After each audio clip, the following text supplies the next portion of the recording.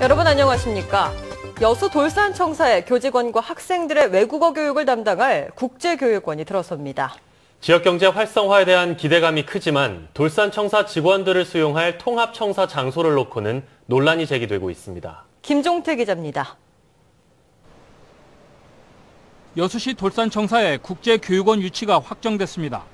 국제교육원은 교직원과 학생들의 외국어 교육과 다문화 가정의 언어 교육을 담당합니다. 국제교육원으로는 경기도 성남에 이어 전국에서 두 번째입니다. 여수시가 삼청사로 쓰고 있는 돌산청사를 제공하고 전남교육청과 교육부가 150억 원을 들여 청사 리모델링과 기숙사 등을 지을 계획입니다. 전남 지역에 흩어져 있는 외국어 교육기관과 체험센터가 한자리에 집결함으로써 전국적인 국제교육의 장으로 자리매김할 것으로 기대되고 있습니다.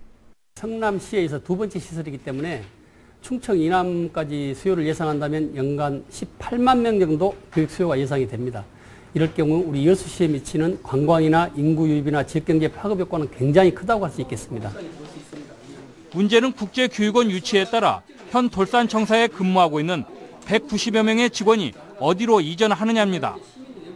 여수시는 이청사 테니스장에 3층 규모의 건물을 신축해 이곳으로 직원들을 이전하려 하고 있습니다. 하지만 구 여천 지역 주민이나 일부 의회 의원들이 3여 통합 당시 약속 사항이라며 현 일청사로 통합해 이전해야 한다고 반대 의견을 보이고 있습니다. 당장 내년 초까지 돌산청사를 비워줘야 하기 때문에 의원 사이의 합의부터 시급한 실정입니다. 지역 간 이해관계가 겹쳐 여러 가지 문제로 공유재산 관리계획이 부결된 바 있습니다.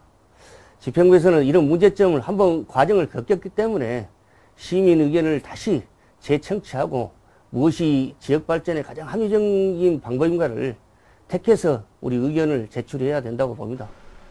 오는 2018년 원활한 국제교육원 입주에 돌산청사 이전 문제를 어떻게 해결하느냐가 중요한 관건이 되고 있습니다. MBC 뉴스 김종태입니다.